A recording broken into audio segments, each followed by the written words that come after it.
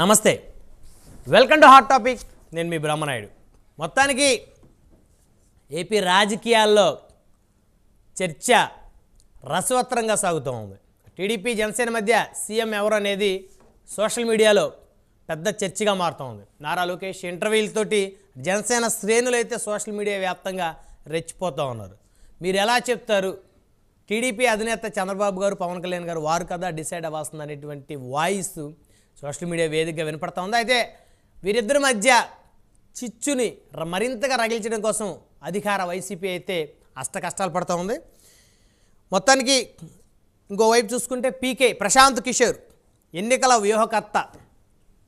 గతంలో వైఎస్ఆర్ కాంగ్రెస్ పార్టీకి రెండు వేల పంతొమ్మిది ఎన్నికల్లో ఎన్నికల వ్యూహకర్తగా వ్యవహరించారు. అయితే దానికి గాను వందల కోట్ల రూపాయలు ఆయనకి గిఫ్ట్గా వైసీపీ అధినేత ఇచ్చారనేది ఇప్పటికి కూడా అంటే విశ్లేషకులు కానీ అదేవిధంగా ప్రతిపక్షాలు కానీ మాట్లాడేటువంటి మాటలు. అయితే ఇప్పుడు ఇదే ప్రశాంత్ కిషోర్ చంద్రబాబుని కలిశారు. నారా లోకేష్తో చర్చలు జరిపారు. అంటే ఏం చర్చలు జరిపారు? ఒకవేళ రేపు ప్రశాంత్ కిషోర్ ఎన్నికల వ్యూహకర్తగా తెలుగుదేశానికి ఏమైనా పనిచేసేటువంటి పరిస్థితులు ఏమైనా ఉంటాయా? మొత్తానికి గతంలో ప్రశాంత్ కిషోర్ని ఒక గొప్ప ఎన్నికల వ్యూహకర్త అంటూ కీర్తించినటువంటి అధికార వైఎస్ఆర్ కాంగ్రెస్ పార్టీ. ఇప్పుడు అదే ప్రశాంత్ కిషోర్ తెలుగుదేశం అధినేతలతోటి చర్చించడంతో వాళ్ళ వాయిస్ మారింది. ప్రశాంత్ కిషోర్ని సైతం కూడా టార్గెట్ చేస్తున్నటువంటి పరిస్థితులు. అంటే తమతో పనిచేస్తే ఒక రకం తమకి వ్యతిరేకంగా ఉండేటువంటి రాజకీయ పార్టీలతోటి తమ ప్రత్యర్థులతో కలిసి నడిస్తే మరి వారి మీద నిందలు వేయడానికి కానీ వారిని విమర్శించడానికి కానీ ఎక్కడా వెనకడుగు వేసే పరిస్థితులు లేదన్నట్టుగా వైఎస్ఆర్ కాంగ్రెస్ పార్టీ ఎప్పట్లాగనే తన రూట్ని క్లియర్ చేస్తూ ఉంది. మొత్తానికి ఆర్జీవి వ్యూహం మరి ప్రస్తుతం రాబోయేటువంటి ఎన్నికల్లో మరి ఏ రాజకీయ పార్టీలు ఏ వ్యూహాలు రచిస్తాయో తెలియదు కానీ ఆర్జీవి మాత్రం తన వ్యూహం సినిమా అయితే ఈ నెల ఇరవై తొమ్మిదిన రిలీజ్ చేస్తామని ప్రకటించారు. మొత్తానికి ఆర్జీవి ఏదైతే ఆయన ఫంక్షన్ ప్రీ రిలీజ్ ఈవెంట్ ఏదైతే చేశారో వ్యూహం సంబంధించి దాంట్లో పెద్ద ఎత్తున వైఎస్ఆర్ కాంగ్రెస్ పార్టీకి చెందినటువంటి మంత్రులైతే ఆర్జీవిని కొడి కొనియాడారు. ఆర్కే రోజా గారు ఒక అడుగు ముందుకేసి బెజవాడ ముద్దు బిడ్డ మరి రామ్ గోపాల్ వర్మ అన్నారు. మరి ఆయన బెజవాడికి చేసిన సేవ ఏందో మరి ఆంధ్రప్రదేశ్కి చేసిన సేవ ఏంటో మరి రోజా గారు లాంటి రాజకీయ నేతలు చెప్పాల్సినటువంటి అవసరం ఉంది.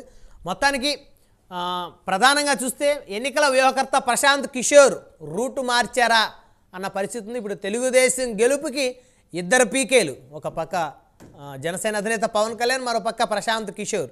మరి ద్వంద్వ స్ట్రాటజీతోటి టీడీపీ ముందుకు వెళ్ళి టీడీపీ జనసేన కలిసి ప్రభుత్వాన్ని ఏర్పాటు చేస్తాయా లేదా అనేటువంటి అంశాలు చర్చిద్దాం. రూట్ మార్చిన పీకే అంటే పీకే అంటే ప్రశాంత్ కిషోర్. అంటే అటు గతంలో వైసీపీలో ఉండేవారు ఇప్పుడు తెలుగుదేశానికి మరి అనుకూలంగా వచ్చే పరిస్థితులు అంటే ప్రశాంత్ కిషోర్ మాత్రం స్పష్టత ఇచ్చారు. చంద్రబాబు గారిని క్యాజువల్గానే కలిశానన్నారు దీని మీద ఎవరో పెద్దగా విశ్లేషణ చేయాల్సిన అవసరం లేదన్నారు. ప్రశాంత్ కిషోర్ లాంటి ఒక స్ట్రాటజిస్టు ఒక వ్యూహకర్త సాధారణంగానే కలిశాను అంటే నమ్మటానికి ఆంధ్రప్రదేశ్ ప్రజలేమి అమాయకులు కాదు. ఎందుకంటే ప్రతిరోజు ఆంధ్రప్రదేశ్లో ప్రతి గ్రామంలోనూ రచ్చబండ దగ్గర అరుగుల దగ్గర చెట్ల దగ్గర రాజకీయం పెద్ద ఎత్తున చర్చకు వస్తా ఉన్న పరిస్థితి అయితే ఉంటుంది. ఈ అంశాలను చర్చిద్దాం. ఇదే వాళ్ళ హాట్ టాపిక్. హాట్ టాపిక్లో మనతో పాల్గొనడం కోసం విజయకరణ్ గారు తెలుగుదేశం పార్టీ నాయకులు మనతోటి స్టూడియోలో అందుబాటులో ఉన్నారు. అదేవిధంగా తురగా శ్రీరామ్ గారు రాజకీయ విశ్లేషకులు మనతోటి జుంకలు అందుబాటులో ఉన్నారు. అదేవిధంగా డాక్టర్ మాధవరెడ్డి గారు జనసేన పార్టీ నాయకులు చేర్లింగపల్లి నియోజకవర్గ ఇన్ఛార్జ్ మనతోటి జుంకలు అందుబాటులో ఉన్నారు. రైట్ ముందుగా విజయకరణ్ గారితో మాట్లాడదాం. టీడీపీ నాయకులు విజయకరణ్ గారు గుడ్ మార్నింగ్ అండి. గుడ్ మార్నింగ్ అండి. ప్రధానంగా మూడు చర్చలు తీసుకున్నాం ఈరోజు విజయకరణ్ గారు. ఒకటేమో ఆర్జీవి మరి వ్యూహం వస్తూ ఉంది. ఆ వ్యూహం రిలీజ్ అయితే మరి ఎవరి వ్యూహాలు కూడా పారేటువంటి పరిస్థితులు ఉండవు రాజకీయాల్లో. దాని తర్వాత పీకే ప్రశాంత్ కిషోర్ స్ట్రాటజిస్టు తెలుగుదేశం అధినేతతోటి ఏం చర్చలు జరిపారు? అంటే ఇప్పుడు వైసీపీని గతంలో ఎలాగైతే మరి ఆయన ఆయన స్ట్రాటజీ తోటి కొంచెం ముందుకు తీసుకెళ్ళిన పరిస్థితి ఏదైతే ఉందో ఆ మార్జిన్ ఓట్ బ్యాంకు ఇప్పుడు ఈయనేమన్నా టీడీపీకి సహాయ సహకారాలు చేసే పరిస్థితి ఉంది? అదేవిధంగా సోషల్ మీడియాలో సీఎం ఎవరు అనేది టీడీపీ జనసేన మధ్య మొదలైనటువంటి చర్చ. ఈ ఏంటి ఈ దాదాపు ఈ ఈ మూడు అంశాలు ప్రధానంగా ఆంధ్రప్రదేశ్ రాజకీయాలు చర్చకు వస్తుంది? ముందుగా మీకు ప్రైమ్ లేని యాజమాన్యానికి ఆంధ్రప్రదేశ్ తెలంగాణ తెలుగు ప్రజలకి ప్రపంచవ్యాప్తంగా జరుగుతున్నటువంటి క్రిస్మస్ పర్వదినం సందర్భి సందర్భి సందర్భంగా అందరికీ క్రిస్మస్ మరియు నూతన సంవత్సర శుభాకాంక్షలు. Thank you and wish the same Vijayakaran గారు. అందరికీ ప్రైమ్ నైన్ ప్రేక్షకులకి వీక్షకులకి ప్యానలిస్టులు అందరూ కూడా నా తరపు నుంచి మా యాజమాన్యం తరపు నుంచి క్రిస్మస్ శుభాకాంక్షలు. యా ఆ దేవదేవుణ్ణి రాబోయే క్రిస్మస్కి చంద్రబాబు నాయుడు గారు ఏ విధంగా అయితే గతంలో క్రిస్మస్ కానుక ఇచ్చారో దేవుని బిడ్డ అని చెప్పుకున్న జగన్మోహన్ రెడ్డి ఆ క్రిస్మస్ కానుకను తీసేశాడో ఆ క్రిస్మస్ కానుకతో రాబోయే క్రిస్మస్ ఆంధ్ర రాష్ట్ర ప్రజలు జరుపుకోవాలని ఆ దేవదేవుణ్ణి కోరుకుంటూ ముఖ్యంగా మొదటగా ఆర్జీవి గురించి చెప్పాలంటే సినిమాల్లో తీయటంలో చేతకాక ఫ్లాపులు బాట పట్టి షెడ్లోకి వెళ్ళిపోయినటువంటి ఒక సినీ దర్శకుడు ఆర్జీవి.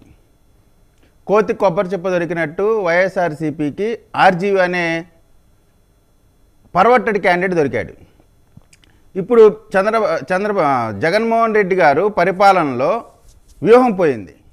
కాబట్టి ఇప్పుడు గాలి పోగేసి గాలి వ్యక్తులతో గాలి సినిమా తీస్తూ ఉన్నారు. అంటే సహజంగా ఏ ప్రభుత్వం అయినా మేము ఈ కార్యక్రమాలు చేశామని చెప్పి రాజకీయ వ్యూహాలు పన్నుతూ ఉంటారు కానీ జగన్మోహన్ రెడ్డి గారి ప్రభుత్వం మాత్రం ఇట్లాంటి థర్డ్ గ్రేడ్ క్యాండిడేట్లు అంటే ఇంకా చెప్పకూడదు కానీ ఫోన్ సినిమాలు తీసుకునేటువంటి ఒక లుచ్చావేదవతో ఈ విధమైనటువంటి సినిమాలు తీసి ఇప్పుడు ఆయన- ఎన్నికల సమయంలో కూడా గతంలో మంచి సినిమాలు తెలుగు రాష్ట్రాలకు అందించారు. గతంలో ఆయన గౌరవిద్దాం. ఆయన గౌరవించే గౌరవిద్దాం. ఆయన మాట్లాడే విధానం చూస్తుంటే ఈట్కా బదులా ఈడ్సే ఇదేం కానీ అతను ఎట్ట మాట్లాడుతున్నాడు తప్పనిసరి పరిస్థితులు మేము అట్లానే మాట్లాడాల్సి వస్తూ ఉంది ఈ రోజున నిన్న ఆ సినీ ఫంక్షన్కి వచ్చినటువంటి పెద్దలు ఎవరండి? అరగంట రాంబాబు గారు నోటికి ఎట్ట మాట్లాడుతుందో ఒక మహిళ అనే సంస్కారం కూడా కోల్పోయి మాట్లాడేటువంటి రోజా గారు. వీళ్ళు వచ్చి నీతులు చెప్తా ఉంటే ప్రజలు వింటా ఉన్నారు. ఇక ఈ సినిమాకి సంబంధించి ఇప్పుడే మళ్ళీ చెప్తా ఉన్నామండి. ఇది ఎన్నికల సమరం జరగబోతా ఉంది. గౌరవ న్యాయస్థానాలని దీనికి సంబంధించిన పెద్దలను కూడా మేము విజ్ఞప్తి చేస్తూ ఉన్నాం. ఈ సందర్భంగా ఈ సినిమాలో ఇష్టం వచ్చినట్టు కానీ ఏది పడితే అది ఆ సినిమాలో కానీ ప్రదర్శిస్తే ఆ ప్రదర్శనల్ని ఏ విధంగా అడ్డుకోవాలనేటువంటి కార్యక్రమం ఒకటి. రెండోది దానికి సంబంధించిన సినీ ఏదైతే సినిమా హాల్ ఉన్నాయో వాళ్ళు కూడా మీరు కూడా పునరాలోచించుకోండి. ఇటువంటి ఉద్రేకాలు రేచ రెచ్చగొట్టేటువంటి సినిమాల్ని మీ హాలలో ప్రదర్శించకుండా ఉంటే మంచిదని ఈ సందర్భంగా విజ్ఞప్తి చేస్తూ ఉన్నాం. ఇక పేరుని నాని నిన్న చెప్తా ఉన్నాడు. ఎవరు? పీకే ఎవరు? పీకే ఎవరో తెలియకుండానే మీరు? ఎలక్షన్లు చేశారా? పీకే ఎవరో తెలియకుండానే మీరు వ్యూహాలు పన్నారా? అంటే పేరు నాని గారికి ఆయన ఎవరో పడకపోతే ఆయన ఎవరో తెలియదని మాట్లాడతారు. అంటే అతను కొంచెం మెమొరీ లాస్ ఉంటే ఉండుండొచ్చు. పేరుని నానికి ఇచ్చిన ఒకే ఒక డ్యూటీ పవన్ కళ్యాణ్ గారిని తిట్టడం ఇంకా అంతకు మించి అతనికి డ్యూటీ లేదు. ఎందుకంటే మంత్రి పదవి కూడా ఓడపెరికేశారు కాబట్టి ఇప్పుడు ఆయన చేయగలిగే కార్యక్రమం ఏం లేదు. ఇవాళ అంబటి రాంబాబు గారు కానీ అమర్నాథ్ కానీ వీళ్ళందరూ కూడా ఉన్న పలంగా రాత్రికి రాత్రి ప్రశాంత్ కిషోర్ ఒక నీచుడు నికృష్టుడు. అతను మేము వాడి పడేసిన రకరకాల మాటలు మాట్లాడుతూ ఉన్నారు.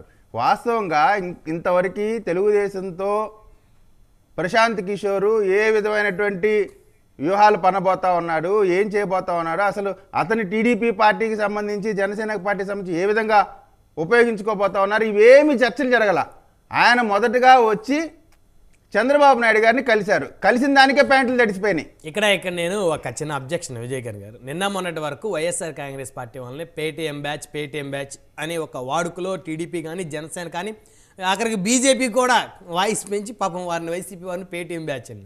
అంటే ఈ పేటీఎం బ్యాచ్ని ఎందుకన్నారు? గతంలో ప్రశాంత్ కిషోర్ గారు ఎన్నికల వ్యూహకర్తగా పనిచేశారు. ఆయన కింద కొంత టీం ఉంటుంది.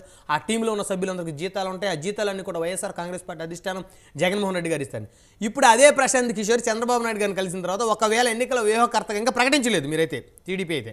ప్రకటిస్తే తెలుగుదేశం ఆ పేటీఎం అనే పదము వారి దగ్గర నుంచి తెలుగుదేశం కార్యకర్తలకి జనసేన కార్యకర్తలు కూడా వర్తించే ప్రమాదం ఉంది ఎందుకంటే పొత్తుల వారు కూడా ఉన్నారు కాబట్టి ఇక మీ అందరిని కూడా పేటీఎం బ్యాచ్ అనే పరిస్థితులు వైసీపీ ముందుగానే ముందస్తుగా ప్లాన్ రెడీ చేసింది. ఇప్పుడు తీర్థం శంఖంలో పోయగానే తీర్థం అవుతుంది. అదే వేరే దగ్గర పోస్తే కాదు. చంద్రబాబు నాయుడు గారి దగ్గరికి ప్రశాంత్ కిషోర్ వ్యూహాలు వస్తే అది చట్టబద్ధంగా ప్రజలకు ఉపయోగపడే విధంగా రాజ్యాంగబద్ధంగా నడుస్తాయి. ఈ విధంగా ఇప్పుడు నిన్నటి నుంచి చెప్తా ఉన్నారు. బాబాయ్ హత్య గురించి కోడి కత్తి కేసు గురించి ఎవరు చెప్పట్లా? వైఎస్ఆర్ కాంగ్రెస్ పార్టీ నాయకులే ఈ రోజున స్టార్ట్ చేశారు. కోడి కత్తి గురించి కానీ బాబాయ్ హత్య గురించి కానీ. అంటే వీరు క- వీరంతట వీరే.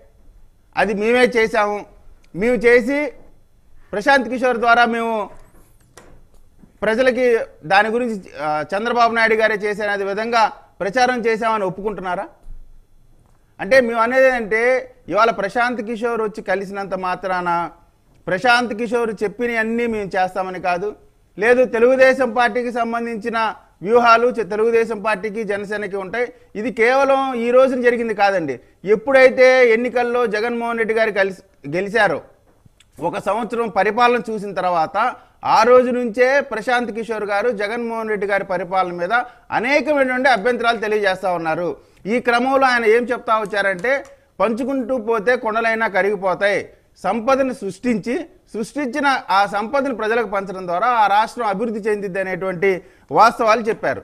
ఈ రోజున మొన్నటి వరకు టీడీపీ జనసేన పార్టీల పొత్తుని ఏ విధంగా చెడగొట్టాలనేటువంటి కార్యక్రమంలో నిమగ్నమైనటువంటి వైఎస్ఆర్ కాంగ్రెస్ పార్టీ ఈ రోజున ఈ ప్రశాంత్ కిషోర్ కలవగానే ఇక ఎట్టి పరిస్థితుల్లో కూడా రాబోయే రోజుల్లో తెలుగుదేశం జనసేన ప్రభుత్వాలు రాష్ట్రంలో అధికారంలోకి రాబోతా ఉన్నాయి కాబట్టి మా కార్యక్రమాలని అలైన్మెంట్ చేయటానికి ప్రశాంత్ కిషోర్ గారు వారి సేవల్ని ఇస్తారనేటువంటి విషయాన్ని తెలుసుకొని వాళ్ళ భయంలో నుంచి వచ్చినటువంటి వ్యాఖ్యానాలు